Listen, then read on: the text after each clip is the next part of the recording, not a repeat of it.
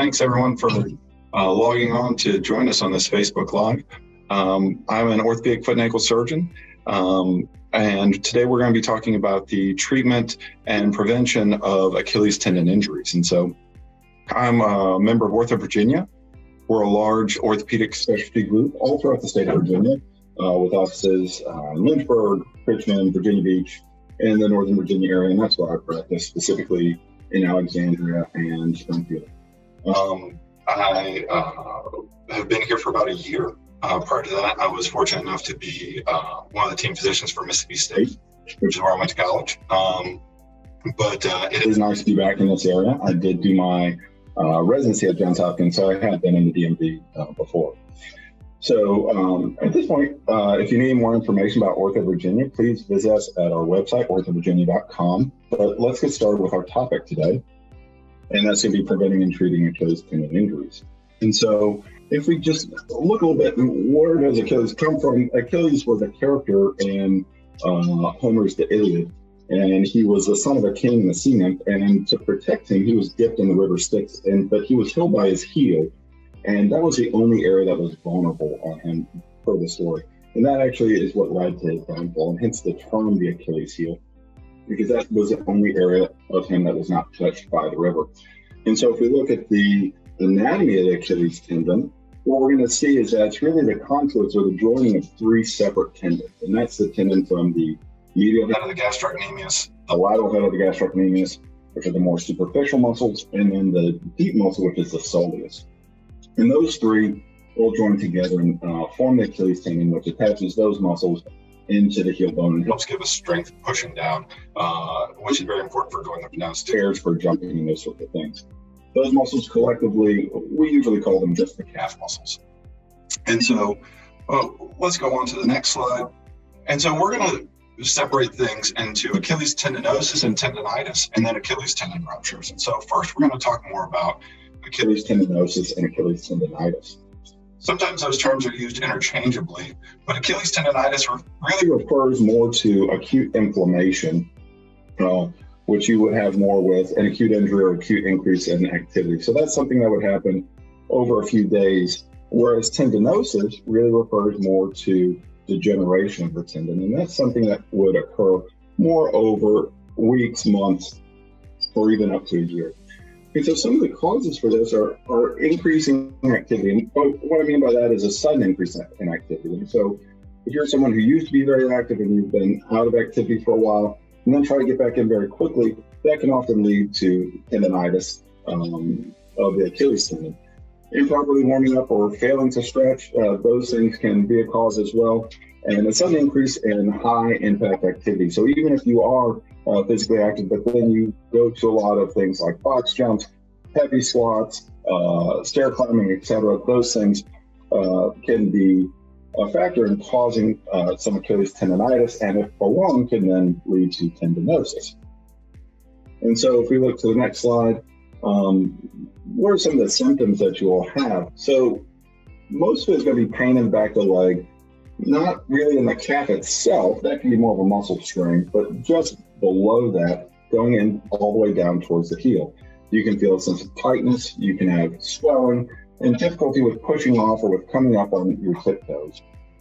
And these are the common things that you'll see when you have Achilles tendonitis uh, or an acute flare up of, uh, of your Achilles tendon. So, the next slide, please. So, what can you do to prevent having Achilles tendonitis or to prevent that becoming Achilles tendinosis? Again, probably the most important thing is to remember to stretch and to remember to strengthen these muscles. So, uh, remembering to do this before and do this properly. When you're doing stretches, you don't want to be bouncing around. You want to have a nice, slow, even stretch uh, to that tendon. Make sure that you allow time to get warmed up prior to an activity. Most of these injuries and most of the tendonitis and uh, Achilles tendon ruptures actually occur in people in their 30s, 40s, and 50s. People who have been active, but now are have jobs, have families, have other things that really kind of limit the amount of time that they have to do the activity of their choice. And so they're trying to cram a lot of activity into a small amount of time, and they often forget to do these things such as stretching and strengthening of their Achilles tendon. Cross training is something that is very important for prevention. Cross training will help you be able to do whatever activity you like to do even longer. And so when people come to me and they have Achilles tendonitis and they are a runner, I say, you know, if you're running five days a week, to really be able to keep doing that, it, you should consider cross training. So one or two of those days, you should be, should consider either using a bike or doing swim for those days, and that will help you be able to do your activity of choice longer. Make sure to be aware of your environment uh, when you're having Achilles tendonitis or to help prevent Achilles tendonitis and tendinosis. And what really that means is you want to avoid a lot of hills. So if you're having issues with your Achilles tendon, uh, going up and down, especially up, is really going to fire up that Achilles tendon, make that pain and inflammation worse. Improper shoe wear can contribute to Achilles tendonitis. Uh, if you're a runner an active person, uh, really a good rule of thumb is to change your shoes about every three months. If you get to where the heel counter the back of the shoe is very worn and you have a something hard pressing against the Achilles tendon, that can uh, contribute to your uh, Achilles tendon getting inflamed as well. And make sure that you increase your uh, exercise intensity slowly. If you try to ramp up activity very quickly, as we have discussed previously, you're, you're really just setting yourself up for injury. And so, in terms of treatments, what things can we do? Um, we can play this video here. We'll start at the bottom and work up. And so, uh, this is a video of uh, shockwave therapy, and this is something that we offer here at Ortho Virginia. Um, and what this is is a treatment where we use a special machine uh, to do a shockwave on the Achilles tendon. This is some excellent results uh, with helping to um, treat Achilles tendon, uh, Achilles tendonitis, and even Achilles tendinosis. Other things that you can do, um, dry needling is something that we offer through our physical therapy department. Um, formal physical therapy where you uh, focus on stretching and strengthening of the Achilles, but also on the mechanics of your running, uh, jumping, etc. Anti-inflammatory medications like ibuprofen and Aleve, and even more stronger medications that we can prescribe for you. Cross, training we've uh, discussed previously as well, and that is important as you are getting back into exercise uh, after an Achilles tendon injury or a flare of Achilles tendonitis, icing your Achilles tendon, and a period of rest and immobilization. Depending on how how severe your Achilles tendonitis is, that may include use of crutches or a short course of wearing a boot or something of that nature. So now we're going to move more to talking about Achilles tendon ruptures. Achilles tendon rupture, the Achilles tendon is one of the most common, if not the most common tendon that's ruptured in the human body. And uh, part of the reason for this is that there's an area about four to six centimeters from the insertion of the Achilles tendon that actually has a little bit of a watershed blood supply. And so what that means is that uh, the blood supply in that area is more of a trickle down effect, and that causes it to be the most common location that Achilles tendon ruptures occur.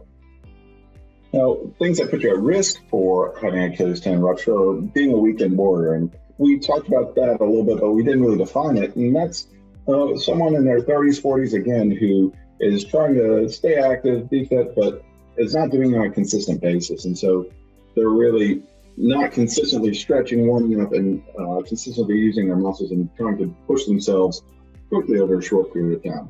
Achilles tendon ruptures are more common in men than in women, uh, and certain antibiotics uh, can make you more prone to Achilles tendon rupture. Uh, those antibiotics are called fluoroquinolones. That is a class of medication and some common medications in that class are Cipro or Levaquin. Um, so it's important that if you're on an antibiotic, that you talk to your physician about what things are appropriate for you in terms of exercise while you're on that antibiotic. Steroid injections can make you more prone to uh, Achilles tendon ruptures as well. And uh, if you are having Achilles tendonitis, I do not recommend doing any steroid injections at the site of the Achilles tendon. That just makes you very prone to having an Achilles tendon rupture It may feel really good for a short period of time, but then you may take some tendinosis or tendonitis and actually advance that to Achilles tendon rupture. Achilles tendon ruptures are almost always associated with a sensation of a large pop, and people often describe a large sound. And this will usually occur when they go to push off strongly. So if they're playing uh, basketball, which is a common mechanism, they're going up for a rebound, or they go to push off to cross someone over and they feel a, and hear a large pop. And people often tell me they thought that someone uh, threw a, a, rock at them, uh, hit them in the back with a bat. Uh, they thought someone shot a gun, and they feel this large pop, and they look behind them, and no one was there. So it is most usually a non-contact injury. And so um, when we see a patient who's had an Achilles tendon rupture in clinic, this is one of the things that I look for. And what you're seeing on the right side, the image on the right is a normal Achilles tendon, the image on the left is a patient with Achilles tendon rupture. And what you see on the image on the right is that the Achilles tendon has a normal tension to it, which is causing the toes to go up towards the top of the screen.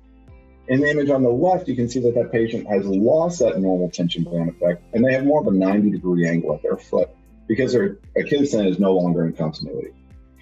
And so if we look at the next slide, we can actually see a video of what this looks like in well, on a patient. This is someone on the left again who has had having Achilles tendon rupture.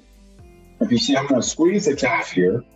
And as I squeeze the calf, there's no motion of the foot. And the foot's at really a 90 degree angle. And the reason that that occurs is because the Achilles tendon is not in continuity uh, all the way through and is not connected to the heel anymore. But if you look at the video on the right, this is after an Achilles tendon repair on the same patient. And as I squeeze the as I squeeze the calf muscle, it actually pulls on the Achilles tendon, which causes the toes to uh, plantar flexor and this instance go towards the top of the screen.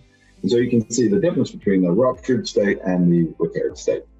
This, uh, on this slide, we're looking at an MRI of an Achilles tendon rupture. So on the on the left is a normal Achilles tendon, and you can see it looks like a nice thin black line all the way through, and that looks like a healthy tendon um, going all the way down uh, towards the bottom where it inserts into the heel bone or the calcaneus. On the right, you can see uh, the two uh, black areas of the tendon that are uh, pointed out on the picture that show the Achilles tendon with the white in between being where the rupture is. And that white fluid or edema just denotes that there's rupture and discontinuity to the Achilles tendon. Now, if you suspect that you've had an Achilles tendon rupture, it's important to get in to see uh, to see us as quick as possible. Don't wait or delay for an MRI because that can often cause a delay in treatment, which can uh, change what we have to do in terms of the treatment for your injury. So if we go on to the next slide, um, these are, were really the mainstays of treatment. So in the early 90s, uh, there was a study that was published looking at operative versus non-operative treatment for Achilles tendon ruptures. And for non-operative treatment, patients were placed into a cast for about one month and then slowly progressed out of the cast. And for surgery, patients had an open repair. And you can see the large incision here. This is more of a large incision open repair. And what they found in that study was that the open repair was superior to non-operative treatment in terms of decreased rates of re-rupture, decreased pain, and improved strength. The non-operative treatment was superior in terms of there were no surgical complications because there was no surgery, and there were no wound complications. And so, one thing to note with uh, Achilles tendon surgery is that wound complications can be a very um, severe complication, and so it, it's definitely something to be aware of. Now, if we go to the next slide, in the early 2000s, early mid 2000s, people start to look again at non-operative treatment and they start to look at something called accelerated rehabilitation. And so instead of a prolonged period of casting, more of a short period of immobilization, was followed then by very intense physical therapy.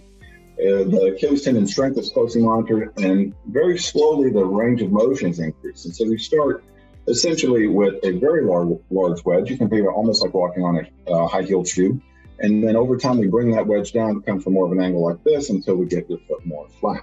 And with accelerated rehabilitation protocols, people have actually been able to have good and excellent results, almost equivalent to, almost equivalent, in some cases, equivalent to surgical intervention.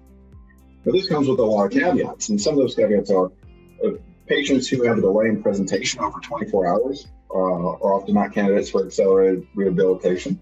Um, if there's a gapping in the tendon, uh, you may not be a candidate for accelerated, accelerated rehabilitation. And if for whatever reason you're not going to be able to participate in the accelerated rehabilitation, if it's not going to be possible for you to go to therapy two to three times a week, then surgical intervention may be a better option for you in those instances. And so, accelerated rehabilitation, while it can give you an excellent result, there are a lot of factors that have to be considered for that to be an appropriate treatment the really great thing about accelerated rehabilitation is that there are no risks of surgical complications. There are no risks of some of those more uh, devastating or possibly devastating uh, wound complications. And so, if we look at the next slide, One note before we look at the minimally invasive repair slide, it does show a minimally invasive repair. So if you would prefer not to see it, avert your eyes temporarily. Thank you. And so this is more of the minimally invasive approach. And so it's a much smaller incision. And as you can see in the image on the far right, what we do is use an instrument to grab the Achilles tendon. And using that instrument, we place sutures through the tendon. And then we flip the instrument and put the uh, instrument into the uh, piece of the tendon down by the heel and put sutures through that and then pull them out through the incision and tie the tendon together and do our repair in that manner. And we can go on to the next slide. And now you, here you can see that that minimally invasive incision is much smaller than that more open incision. And that's how I do almost all of my Achilles tendon repairs at this time is using a minimally invasive approach. By using a minimally invasive approach, you actually decrease uh, the rate of wound healing complications because obviously your wound is much smaller. Um, but at the same time, you can get that tendon repaired. There are some large uh, studies that looked at what is the best treatment now that we've had uh, this resurgence of accelerated rehabilitation and um, uh, this more advent of more minimally invasive techniques. And really, what they found, and what I do at uh, what I do for Achilles and ruptures now is a minimally invasive surgery coupled with accelerated re- rehabilitation. And so, this is my general treatment algorithm. Now, not everyone is going to fit into this treatment algorithm. This is just in general the way that I approach this. And so, if someone has an Achilles tendon rupture, and they're seeing less than 24 hours from the injury, and I can get them into a plantar flex uh, cast or splint. If the rupture's in the mid substance of the uh, tendon and they're able to comply, then they are a candidate for accelerated rehabilitation. And I think they can get an excellent result. If someone presents late from their injury, or if they have a tear, uh, an insertional tear, and we didn't really talk about that, but what that means is a tear directly off of the calcaneus or the heel bone those all, I think, are best treated with surgery. And so, in conclusion, Achilles tendon injury prevention, probably the number one thing to do is to remember to have appropriate stretching and strengthening of your Achilles. Slowly increase your activity. If you are coming back from an injury, from a pregnancy, from a move, if there's been some life event that has kept you out of your normal activity, don't try to get back to that exact exact same level level on day one. Take your time and build back up to that. In terms of treatments for Achilles tendinosis and tendonitis, anti-inflammatory medications, um, uh, physical therapy, uh, rest, needling chocolate, all those modalities can be very helpful in getting you excellent results with your Achilles tendon injury. And for Achilles tendon ruptures, surgical and non-surgical options can both give you an excellent result. And you want to make sure that you have a treatment that's tailored uh, to you, the individual patient. And so I really appreciate everyone tuning in and listening to our talk today. At this point, I'd be happy to take any questions. And again, if uh, you would like to get some more information about us, please visit us at orthovirginia.com. Thank you so much. We do have some questions coming in. So, someone asks if they are having Achilles tendonitis, would going to a running store and getting fitted for shoes help? So, it may help it may not. The if you have Achilles tendonitis, the problem is often starting above the shoe itself. So unless you're wearing a high top shoe that's really controlling your ankle motion, you may not be doing much to really prevent or treat that Achilles tendonitis. Um, obviously, running shoes are not usually high top shoes, and so that may not make much of a change for you. Now, if your current shoes have a really tight heel counter, that is something that you may able may be able to change and that a running store may be able to help you with. Thank you. Does PRP help with the tendonitis? PRP. So PRP stands for platelet rich plasma.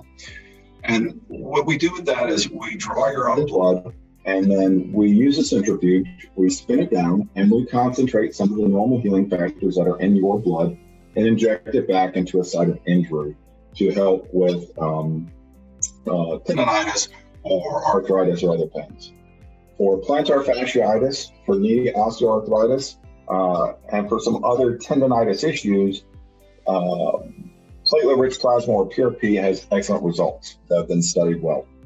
For Achilles tendonitis, it does not have excellent results that have been well studied. And so I do not recommend that for Achilles tendonitis or tendinosis.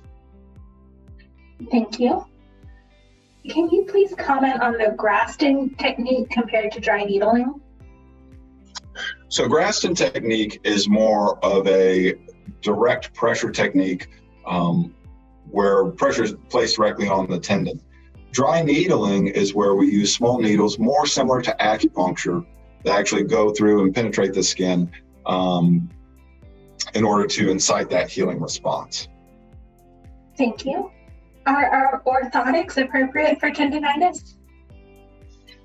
Orthotics again may help out with certain tendonitis issues. Um, for Achilles tendonitis, really something very simple as a heel cup, which will pad the most, the very end of the Achilles tendon, right where it inserts into the heel, but will also lift your heel just slightly in order to take some of the tension off the Achilles tendon. I think that's really the way to go. You can spend a lot of money to get some pricey orthotics, but if you're having Achilles tendon issues, by simply giving a small lift to the to the heel with a heel cup, I think you may get some significant relief. Thank you. How serious is Achilles tendonitis? Is having Achilles tendonitis likely to mean that you're going to have a rupture soon? Achilles tendonitis has a large variance in terms of how severe it is. There are people who have very mild symptoms where it's only symptomatic when they are extremely active. And there are people who are almost debilitated by it in terms of the amount of pain that they have, even with simple things as standing and walking. And so the treatment really is varied as well and tailored to each individual patient depending on the amount of symptoms that you have. Um, in terms of, does that mean if you have Achilles tendonitis, does that mean that you are going to have an Achilles tendon rupture? Tendonitis itself, I do not think means that you're going to have an Achilles tendon rupture. If you have long-standing tendonitis and that develops into tendinosis, where you have thickening and degeneration of the tendon, there is a school of thought that that thinks that tendinosis is a predecessor to tendon rupture. Okay, so if you are having long-standing pain that is hurting with simple activities such as standing and walking, then you may be more prone to an Achilles tendon rupture. That is possible. Thank you. If you I may add, I may add to that it is possible, but we don't have anything that proves that. I will say that. Thank you. If you feel like you had a rupture a month or so ago, how do you know or confirm? Do you go for an MRI? I think you need to come in and see someone as quickly as possible if you think you had it a month ago, because you may still be a candidate for a repair. But if you've been walking on it for a month, what happens is the edges of those tendons are pulled apart from each other. And the tendon may heal with scar tissue across it, but it may heal at an improper length. And what that will cause is decreased strength with pushing off, and you may be more prone to actually a re rupture. Thank you. Are stiff or flexible running shoes better for Achilles tendonitis? I don't think that stiff or flexible running shoes in particular are going to affect Achilles tendonitis per se. Um, I again, I think that it has more to do with. Well, I guess if we are talking about if we're talking about the sole of the shoe, I don't think it's going to make as much of a difference. If we're talking about the heel of the shoe, then I think a softer heel will actually lead to less tendonitis. Um, so I do think that a softer heel may be better.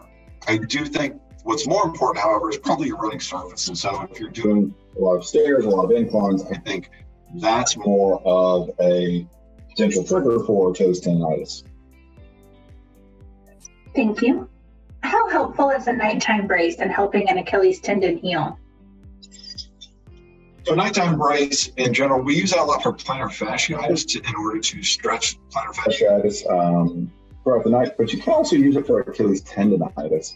I think that's an excellent treatment. I, I think it's uh, a very reasonable adjunct to the other treatments that we described. Um, it may not give you complete relief by itself, but it's certainly something that's worth trying because if you're stretching the plantar fasciitis, you'll also be stretching um, well, that brace that would stretch the plantar fasciitis will also also stretch the Achilles tendon as well. Thank you. In the first week or two after an Achilles tendon tears, do anti-inflammatories help the healing process or only help with the pain? After Achilles tendon rupture, so just to clarify the question, after Achilles tendon rupture, do anti-inflammatories help with the healing process? Is that correct? Correct. Probably in the first couple weeks, they're mainly helping with pain. And so helping to decrease some of the pain and the inflammation in that area in the first couple weeks. Thank you. I have limited range of motion after a total ankle replacement over a decade ago. What can I do for my Achilles and heel pain? That's really tricky because there's many many different issues that may be causing that limited range of motion. You could have arthrofibrosis, which would be scarring around the ankle replacement. You could have limited motion because of tightness of the Achilles tendon. You could have limited motion because of uh, subtalar arthritis. And so there's a lot of different things that may be causing that. And so if you had an ankle replacement, you have limited range of motion, I think getting evaluated to see what the potential causes are or to have a more firm understanding of what the actual cause is, I think would be very important for you. Thank you. Do you recommend Voltaren gel for Achilles tendonitis? I think Voltaren gel is excellent. Voltaren gel is an anti-inflammatory gel, so it works much like ibuprofen or Aleve. For patients who have uh, gastritis, stomach ulcers, um, things of that nature, Voltaren gel is not absorbed through the stomach. And so it's uh, directly applied to the area of concern. And so that can help, especially patients that have those sorts of issues. So I do recommend Voltaren gel uh, to lots of my patients who have any issues with uh, taking anti inflammatories by mouth. Thank you. Someone says that they've had two years of treatment for chronic, chronic Achilles tendinosis, including physical therapy, PRP, and dry needling. They still wake up with pain and swelling in their ankles every morning, and is there anything you can recommend so that they can get better sleep? Absolutely. I think there are other things that can be done in terms of treatments. I think that you could try shockwave therapy. Um, that's not a first line therapy for me. I know we talked about that first, but that's not really a first line therapy. If you've been having pain for two years, however, I think that is a reasonable uh, thing to try. I'm not sure if you mentioned dry needling or not, but that could be um, a treatment for you if you have not tried that. Um, and we didn't really talk about this in our discussion, uh, but for people who have tendinosis, who go on to Achilles tendinosis, that does not get better with conservative therapies, there is surgery that can be done to repair that tendinosis as well. Thank you. Do you have suggestions for Achilles tendonitis from taking Cipro? For Achilles tendonitis from taking Cipro, the biggest thing is immobilization. And so if you have been on Cipro and you immediately are developing tendinose, tendonitis, inflammation of your Achilles tendon, pain in the Achilles tendon, I recommend to get into a boot quickly so that you do not go on to Achilles tendon rupture. Thank you. A couple of questions about the Achilles tendon rupture, which is how soon do you have surgery after you've ruptured it? And how long does the recovery take? Okay. Uh, those two very good questions. For Achilles tendon ruptures, I try to get people, if we decide that surgery is right for you, um, I try to get people to the operating room as soon as I can. And so less than a week is ideal, but I have done it, you know, much further out than that. The sooner you can get to that Achilles tendon repair, the easier it is to return return it to normal tension and normal um, uh, return that muscular tendon unit to a normal uh, position. And then the second question was, what is the rehab? My rehab protocol for Achilles tendon ruptures is actually the exact same as the non-operative protocol. And so uh, the first two weeks are totally non-weight bearing, not putting any pressure on it at all, and then that's followed by four weeks of partial weight bearing building up to putting all your weight on it at six weeks. At six weeks, you're in a boot with a heel lift, and those heel lifts, uh, again, it starts out as a pie wedge, and so it's built up kind of like a high heel. And then we start to take slices of that pie wedge out until we bring your foot down flat. In terms of what is the recovery for this, unfortunately, this is a, an injury that has a fairly long recovery. And so, even for professional athletes, um, and many of them have had this, uh, Kobe Bryant had ACL rupture, David Beckham, uh, the list goes on and on. It's probably about a full year for people to get back to their full level of function after an Achilles tendon rupture. Now, that doesn't mean that you can't walk normally or that you can't drive a car before then. You can do many of these things well before then at a much shorter time frame. But to get back, if you are, um, but this injury usually occurs for people who are playing sports and who are trying to be active. To get back to that usual level of activity normally takes longer time. All right, one final question, which is if you think that you have an Achilles tendon issue, who should you be calling? Should they be looking for foot and ankle, sports medicine? Well, you know, well, I think you should call Ortho Virginia, obviously. And so I think um, this is something that falls under a couple different umbrellas. Obviously, uh, orthopedic foot and ankle surgeons, such as myself, uh, sports medicine surgeons, a lot of them will treat these uh, injuries. And so uh, I'd be happy to help take care of you here at, at Ortho Virginia. Thank you so much. That is all we have time for today. If we were unable to answer your question that came in during the live, we will answer it later in the comments. Would you like to close? Well, I just want to say thank you very much to everyone for tuning in. I hope you have a great afternoon. And um, please visit us at orthovirginia.com.